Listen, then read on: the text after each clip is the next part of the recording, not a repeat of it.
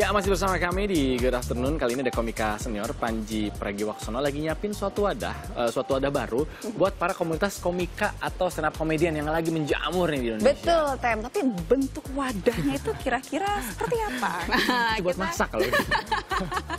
kita lihat langsung. Bang Panji. Semakin menjamurnya komika atau stand-up komedian di Indonesia, khususnya di Jakarta, akhirnya mendorong Panji Pragiwaksono membentuk sebuah acara yang memang ditujukan sebagai wadah bagi para stand-up komedian untuk membawakan karya-karyanya kepada masyarakat. Eh, Saya bikin acara stand up comedy mingguan di Jakarta namanya Komika Monday Market. Komika Monday Market diselenggarakan di public market setiap hari Senin jam setengah sembilan malam.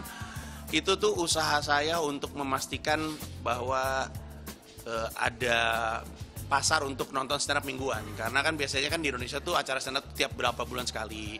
Tapi acara mingguan tuh belum pernah ada. Pengen mencoba untuk eh, mengedukasi pasar, ngebentuk pasar baru. Syukur-syukur kalau pasarnya udah matang, udah kebentuk, Indonesia siap untuk punya comedy club sendiri. Eh, karena itu cita-cita saya pribadi. Eh, kami berdua udah bergelut di komunitas ini cukup lama. Komunitasnya sangat-sangat besar. Tapi Malaysia sama Singapura udah punya comedy club, kita belum pernah. Nah sebelum punya comedy club, marketnya mesti dibentuk, mesti dibangun. Dan itulah kenapa saya tiap Senin, saya yang nge-host, saya hadirkan 5-6 stand up comedian. Pokoknya datang aja, seru-seru, ketawa-ketawa.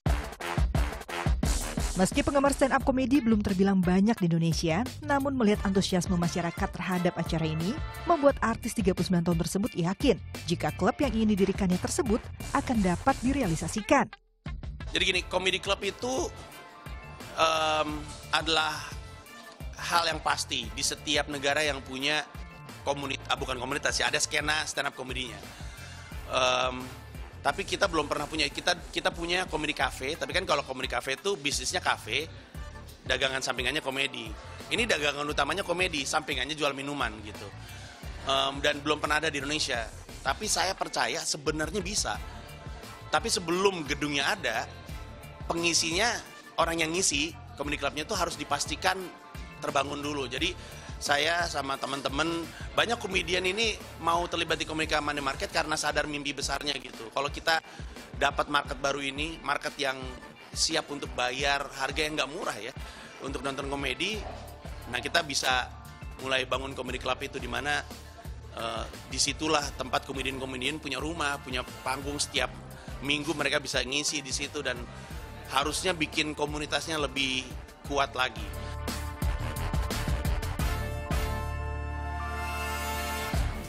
Tuh. Eh, sekarang tuh banyak loh Tem yang Banyak menjadikan eh, kome- komika, komika Ya, atau hmm. stand up comedian itu menjadi sebuah profesi atau Betul. cita-cita. Hmm. Kayak jadi YouTuber gitu. Hmm. Jadi cita-cita baru. Bahkan kalau misalnya ada satu komunitas nih misalnya lagi bikin event, itu saya pernah diceritain soalnya Tem. Jadi banyak juga ibu-ibu yang bawa anaknya Oke. untuk Ngeliat gitu. dan belajar. Oke, Nah, jadi ngebentuk anaknya dari kecil Nina gitu supaya jadi komika. Aduh. Dan ini menarik ya wadahnya.